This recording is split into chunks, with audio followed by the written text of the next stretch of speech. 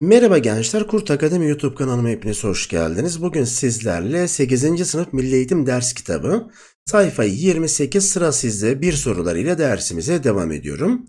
Sevgili gençler, birinci sorumuza dersimize başlamadan önce sizlerden küçük bir ricam var. Kurt Akademi YouTube kanalıma abone olur ve videolarımızı beğenirseniz çok sevinirim. Evet gençler hazırsak ilk sorumuza dersimize başlayalım. Aşağıdaki e, doğal sayı çiftlerinin aralarından asal olanları belirleyiniz diyor. Yaşta aralarında asal olması için birden başka ortak böleni olmaması gerekiyordu. Veya ortak asalı olmayan sayılarda aralarında asaldır diyorduk. O halde bize verilen sayıları incelediğim zaman gençler ortak asalı veya ortak çarpanı var mı şeklinde düşüneceğiz. 15 gençler bakın 3 ve 5'ten oluşur asal çarpan olarak. 25 5'ten oluşuyor. Gördüğünüz gibi gençler burada her ikisi de 5'e bölünebildiği için bu iki sayı aralarında asal olmazlar.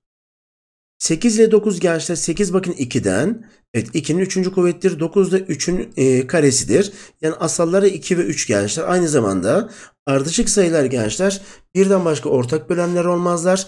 Yani aralarında asallardır. Şöyle tik işareti koyalım.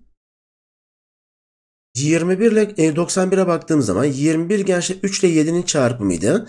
91 de 7 ile 13'ün çarpımıdır. O halde gördüğünüz gibi burada 7'ler ortak. Demek ki bunlar da aralarında asal olmazlar deriz. Evet 47 asaldır gençler. 53 de asaldır. Asal sayılar otomatik olarak birden başka ortak bölenleri olmayacağı için aralarında asallardır. Evet 1 ve 20 gençler 1 bütün doğal sayıları aralarında asaldı. E, bir zaten bir tane böleni var o da kendisi. Yani birden başka ortak böleni çıkmaz. Aralarında asallardır. 26 ile 65'e baktığım zaman 26 gerçi 2 ile 13'ün çarpımıdır. 65 de 5 ile 13'ün çarpımıdır. Bakın ortak çarpan olarak 13'ü görüyorum. Demek ki bunlar da aralarında asal olmazlar diyorum.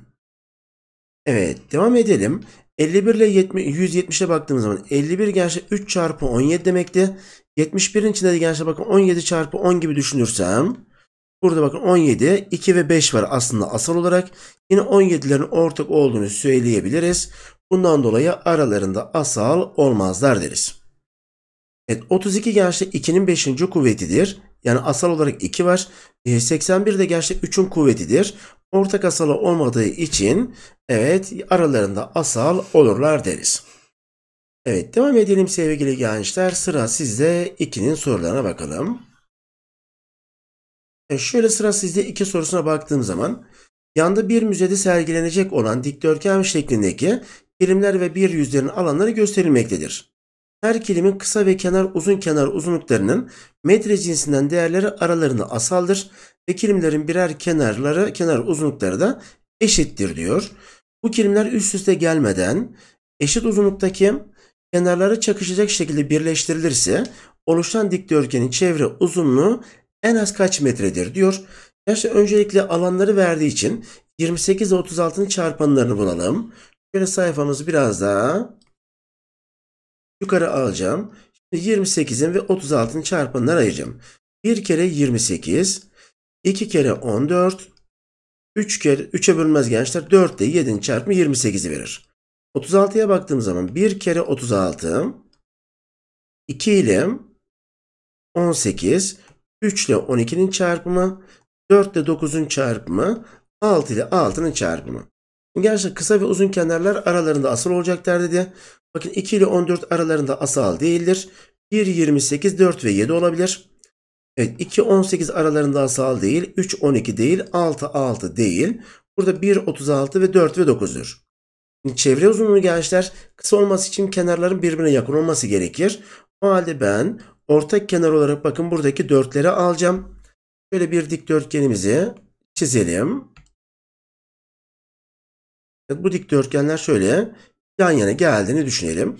Evet, ortak kenar olarak bakın burayı 4 alıyorum.